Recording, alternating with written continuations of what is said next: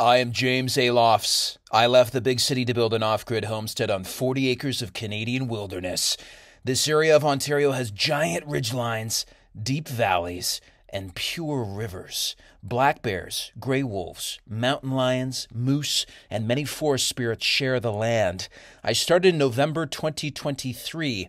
Starting with a modest 12 by 16 foot guest cabin, my goal is to build such a glorious homestead that I attract a magnificent wife, have 10 babies, and raise an Irish wolfhound. Welcome to Wild Homestead. We got absolutely shellacked by the snow gods. However, look at the wolf den. Look how little snow. Okay, look at this. This is over the tops of my boots. And then look in the wolf den. Look at this. Look at that. What a miracle.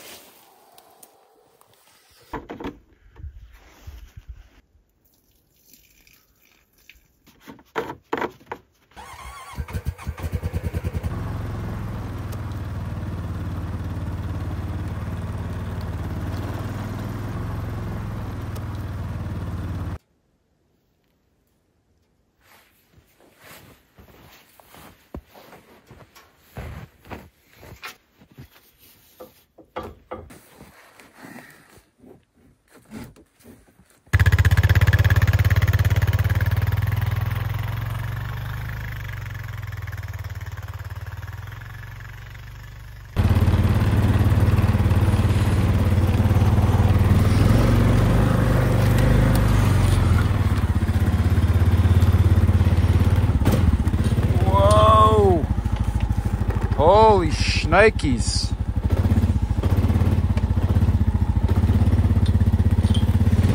Whoa! Oh. Holy.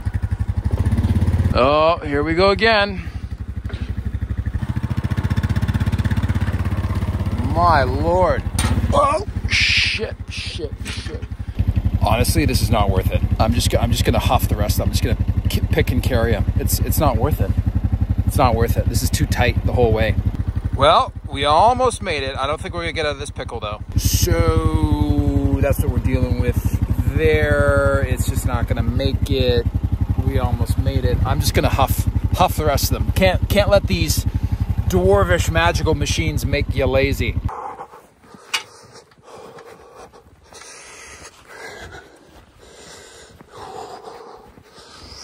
Whoa, whoa, crap. Oh, yeah. Wow, look how high that reaches. That's got to be like four feet.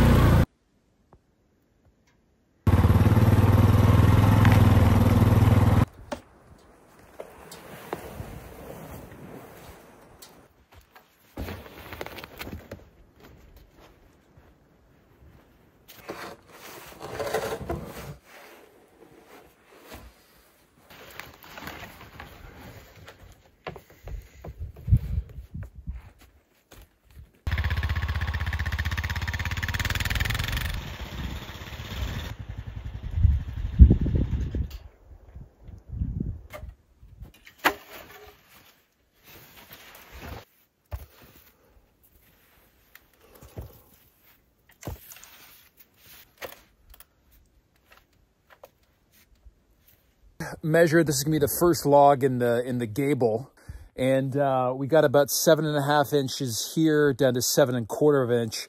So I'm gonna try to look for a pretty like a log with zero taper. I'm gonna check back in the dense canopy over there. I remember uh, back in episode nine, I think we're looking at a tree back there that uh, could be good for this, as opposed to looking for a field grown tree. Right back in episode nine, we talked about this a field grown tree that's going to have a more aggressive taper. I think it was over this way. So I just took a peek back there. And you know what? That forest, this forest to the west, it's very dense, but I can tell that it's much younger than the forest to the north up my ATV trail because there's so many branches. There's so many branches on the trees. I think that it's like the first generation it's all grown up together. It's much more dense than, you know, right out here in the open field.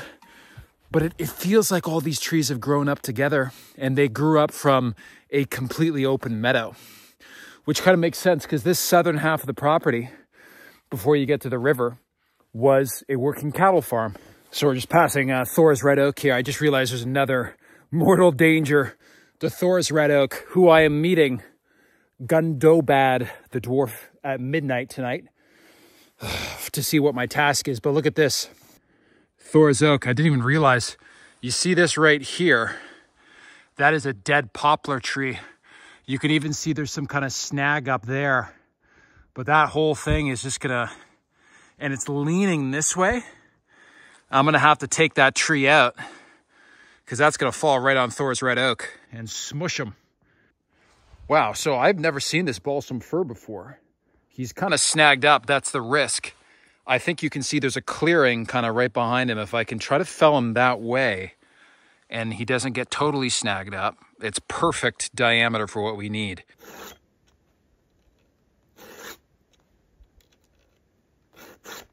Pray to the gods, ladies and gentlemen. This tree, this spruce, is leaning that way, the exact opposite direction I need to fell it. You see there's a little bit of a clearing this way. I'm going to use the block and the mini sledge to try to encourage it. Oh, shit.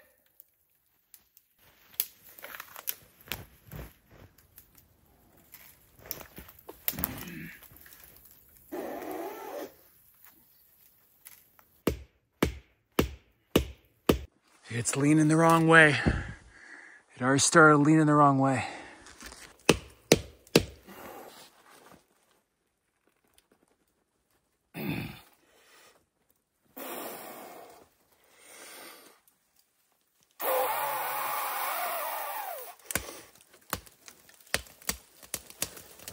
Whoa!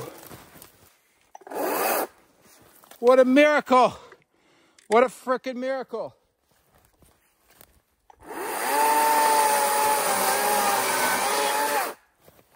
Now it's leaning the right way, but I think it's caught. It's caught on something up there. This is sketchy as all hell. Oh my God!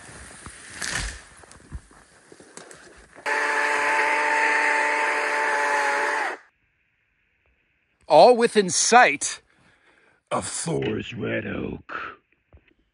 Perfect. Seven incher. Seven inch balsam fir.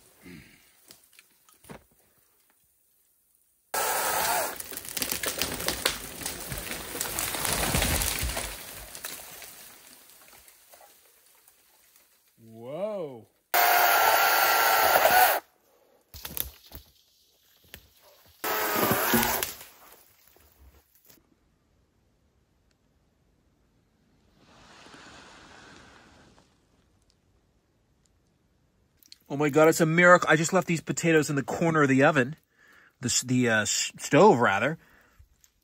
They seem perfect.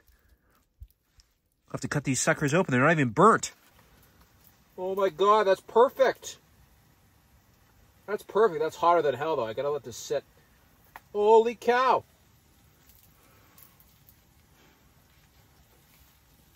Mmm.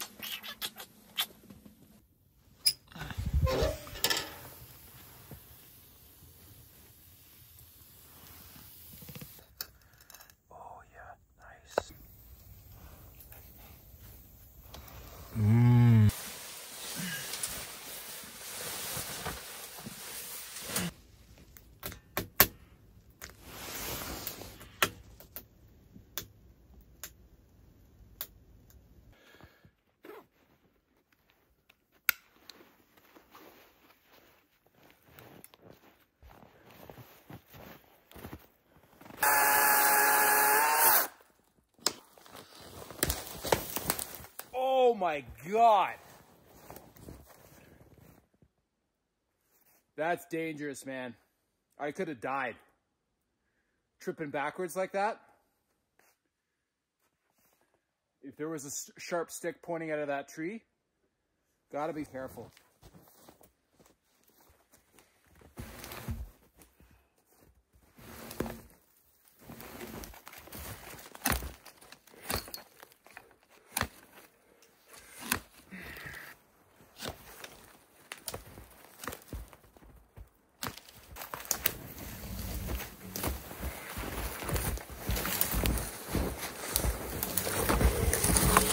Back from the nearest town.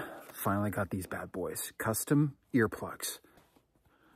Forest green while living in the middle of a forest. Not the best idea. I should have got them in like hot pink. Oh, yeah. Can't hear anything. Can only hear my heartbeat. Right on.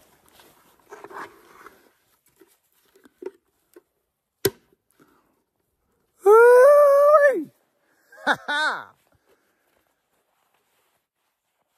Strength and honor. Let's go.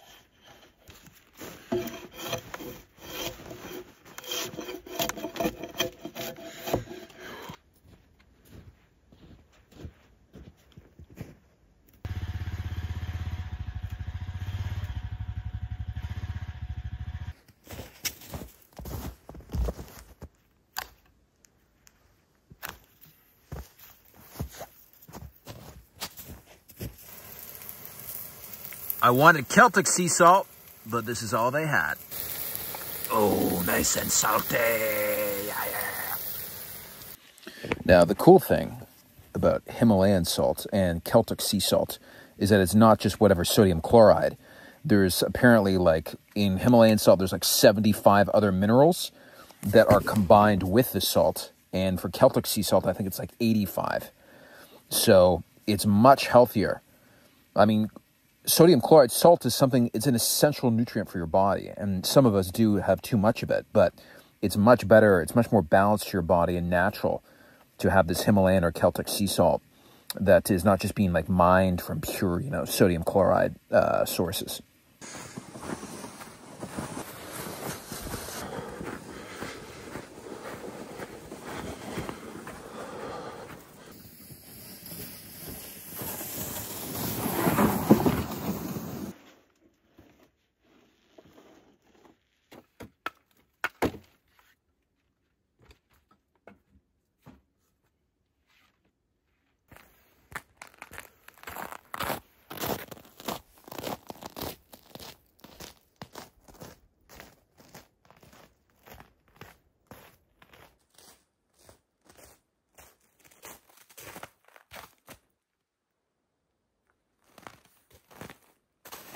Sir James, over here.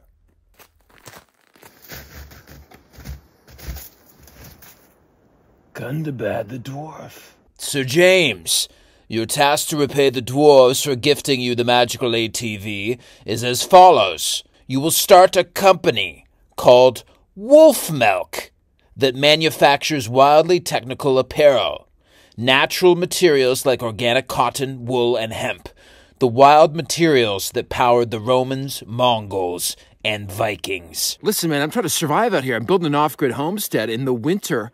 I need another great task like I could use a fifth ex wife. James, this is not about you. Wolfmilk is about helping the inhabitants of Midgard.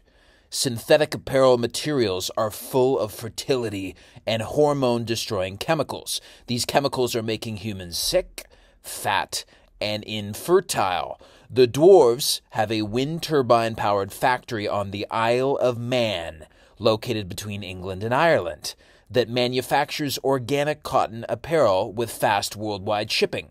Should you choose to accept this task, display the wolf milk flag at the base of your meadow. The dwarves operate a lookout tower in the pine tree on the top of the ridgeline to the south. If you fly the flag, we will start up the organic cotton apparel factory on the Isle of Man immediately. And if you don't, by the end of the day, we will take back the magical ATV. Whoa!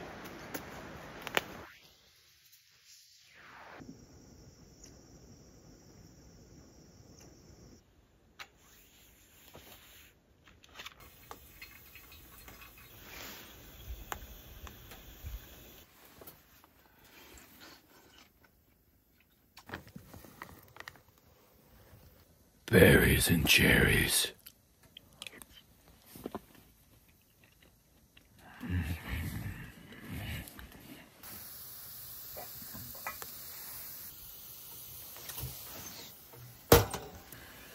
Mm. Maple syrup. Mm. And one for my ancestors. In Valhalla, heaven, or Elysium. Ooga booga.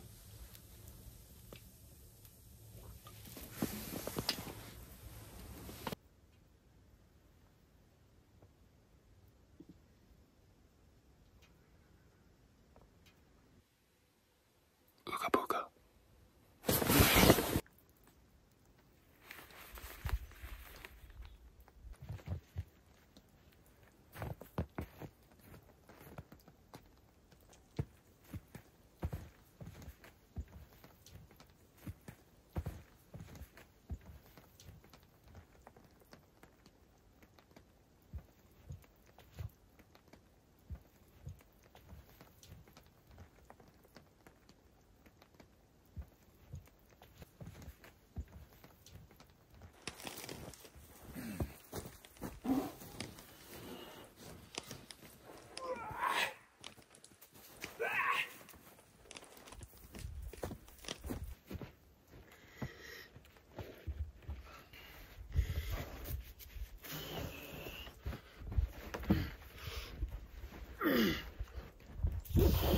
Goddamn.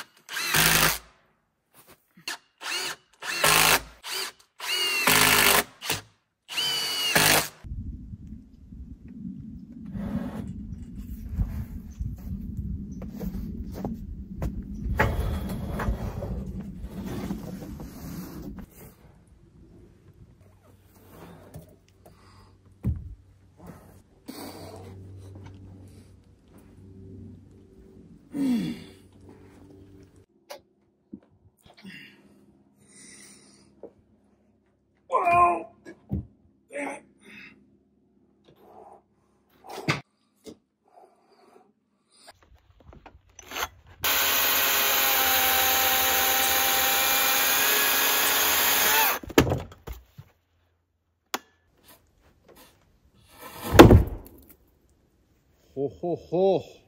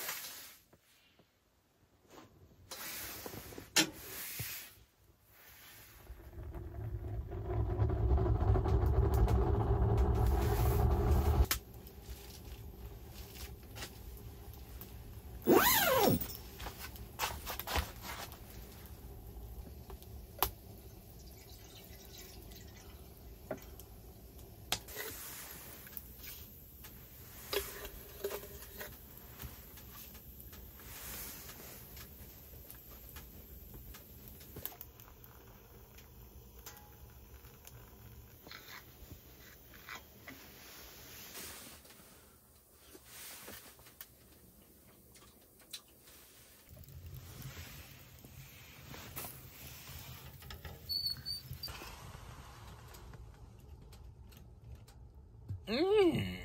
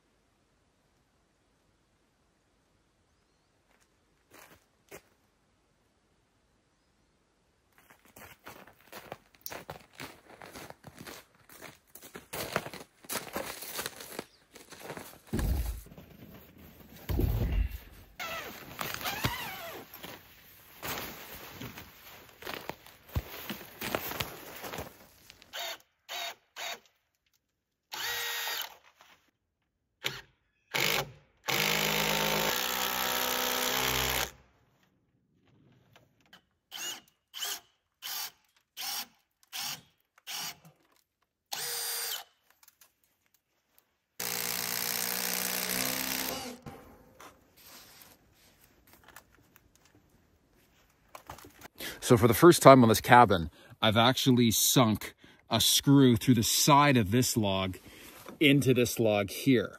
And that's because this log being basically the base of the gables, right? This is gonna go up being the end of the roof.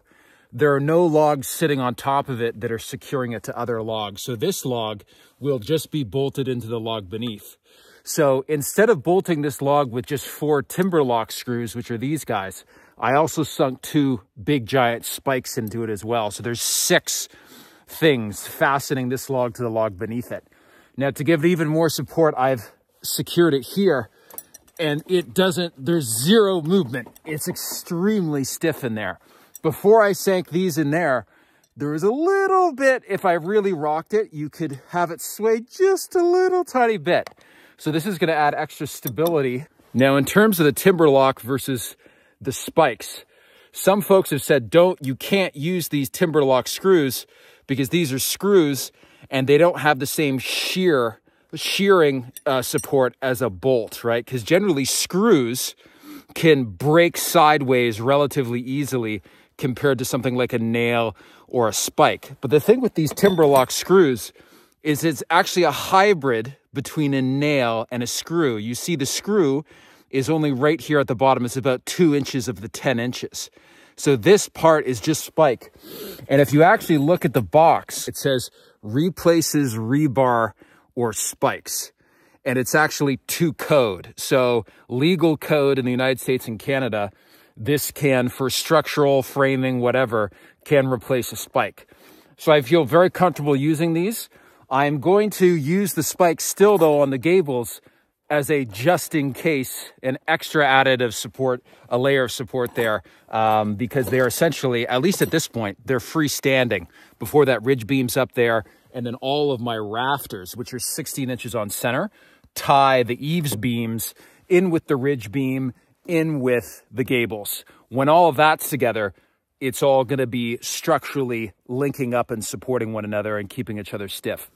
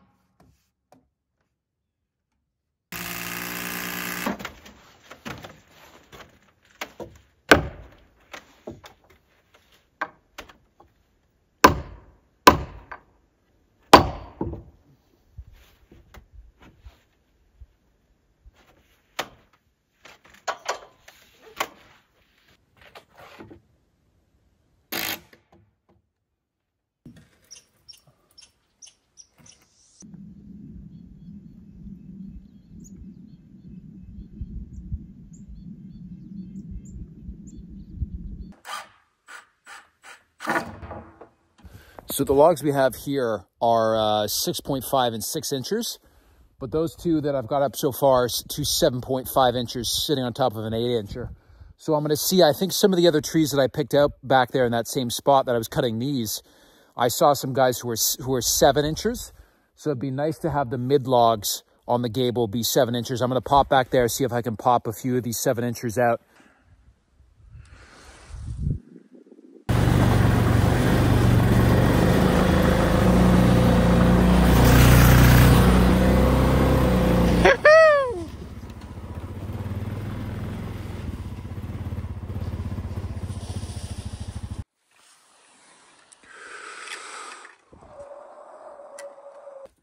This guy is leaning this way pretty hard, but um, I want to fell him that way because there's a meadow there, but also this tree, that tree, and that tree over there. To unlock these three trees, I'm going to need to get this guy out of the way because I can fell all three of these trees in this direction. But first, I just need to take this dude out.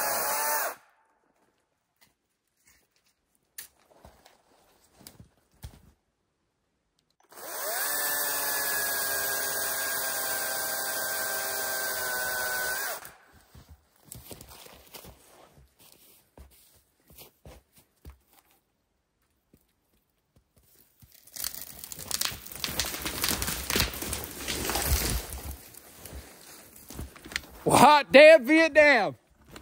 That was pretty easy. The gods are with me today. Today's Thor's Day.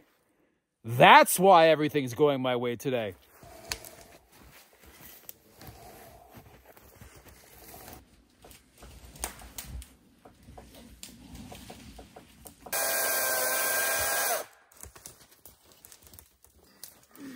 No!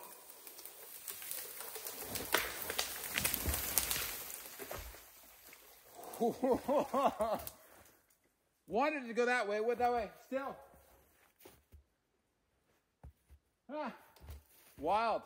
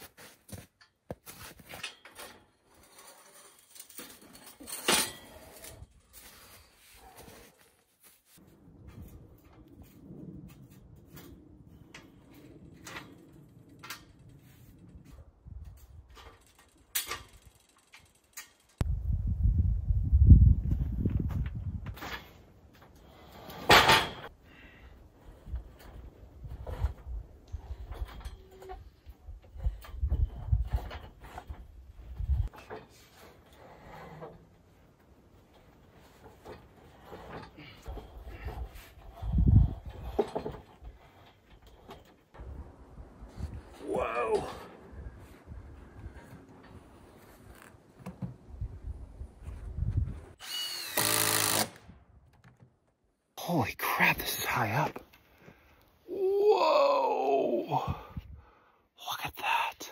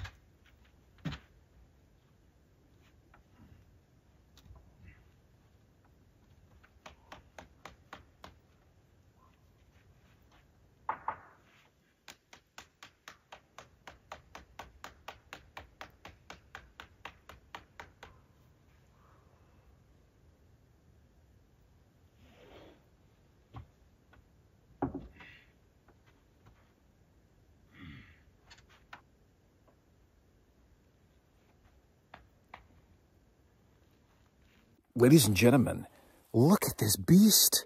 Look at this thing. This is not a 10 by 10 foot survival cabin. This is what I, this is not, I sound like I'm Irish. I, this is not a 10 by 10 foot survival cabin. This is a 12 by 16 foot mansion. It's a log mansion.